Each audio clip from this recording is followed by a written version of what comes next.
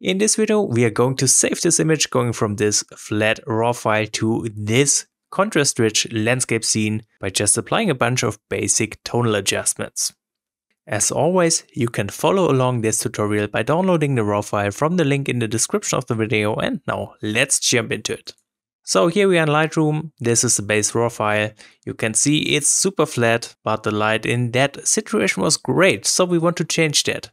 First up, we need to expand the basic panel.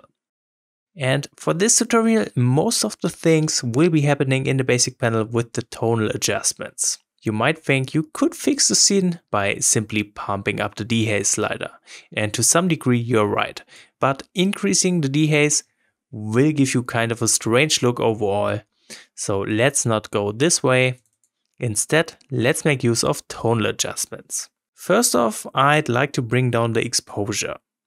This, of course, makes the whole shot a little darker, but when we take a look at the histogram, you can see we are not losing any details, just preparing the image for the upcoming adjustments.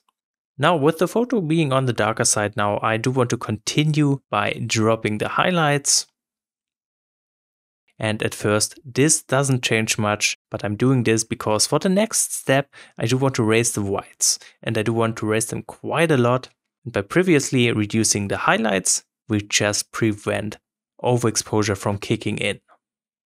If you take a look at this histogram now, you can see it's looking much, much better by just bringing down the exposure to make the overall shot darker, dropping the highlights, and then just raising the whites. And thus we are spreading the histogram and just add some overall contrast. And the secret of how to save such flat images is to, of course you guess it, simply improve the contrast. We can further work on that by just bringing down the shadows. Again, just further making the contrast stronger, but just don't forget to check the histogram once in a while. At the moment, there is still some room left for the darker areas, so that means we could drop the blacks and in turn add some more contrast. Now by just making use of those few tonal adjustments you can see we went from this flat raw file to this more dynamic landscape image. Of course the contrast is still not perfect, for that we could raise the white some more, spreading the histogram even further but I don't really like how this looks. So let's undo that change. Instead, we could make use of masking and with the masks, just target local areas. So let's open up the masking panel. And I do want to start with the top portion of the image, since that is lacking more contrast than the bottom part. For that reason, we can simply use a linear gradient, trying to cover all the mountains in the back giving this linear gradient a very soft gradient as well, so the edge isn't too visible. And what I want to do with this linear gradient is to just play around with the shadows and the highlights. So to add contrast, of course, you can again just drop the shadows. In this case, this doesn't do much, so let's try dropping the blacks, which looks much, much better already. Of course, we don't want to overdo it, but again, if we check the histogram, we can see there is no underexposure, so we can safely push it around a bit. That looks great. I do want to bring some more attention to that bright area on the mountain sides. However, I don't really want to make that area brighter, instead I do want to make the sky darker. So again, let's use a mask.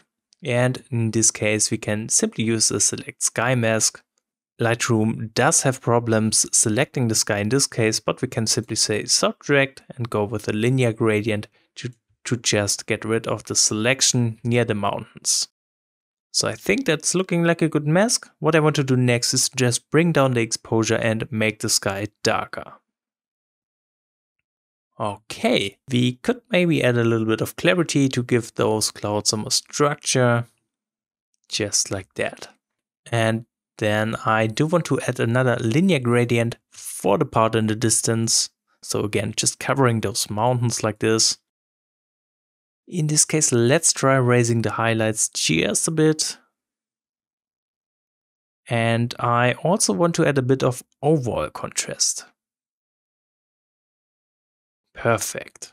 And that is the image after the masking adjustments. You can see targeting things locally has improved the light situation of this image as well. And again, I just used a bunch of tonal changes to adjust the haziness of this image. If you still want to make this image clearer, at this point you could play around with clarity, texture and dehaze. So let's just give the dehaze slider a try. Looking to tickle out some more details in here, but I think this looks great. Overall, I'd like to add a little bit of vibrance as well.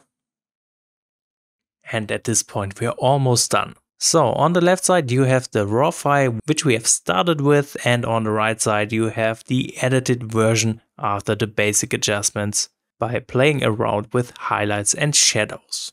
You can see we have added much more depth. By changing the contrast, we can continue working on this image by doing a little bit of color grading. So let's go ahead and open up the HSL panel. I'd like to work on the saturation first. I have the feeling this shot might be a little too vibrant, so let's bring down the yellow saturation, which will make the mountains a little less saturated. And I'm also going to drop the blue tones. Perfect. Besides the color corrections, what we can do in the HSL panel as well is to adjust the contrast some more. And for that we are going to switch into the luminance tab. Luminance basically controls the brightness of a color tone. Which means if, I go, if I'm going to increase the yellow luminance, I will make all the yellow tones in the image brighter. And this affects the bright areas on the mountain face. So let's bring up the yellow luminance. And as we're just adding a bit more light to this scene, just like that. At this point, you could add more contrast by bringing down the blue luminance, making the sky darker, but of course this is a very heavy change, so that's not for everyone. Maybe I'm going to drop it very, very slightly, but that looks good for me. Alright, for this image I'm not going to touch the split toning, but I do want to head into the calibration tab and just bring up the blue saturation slightly.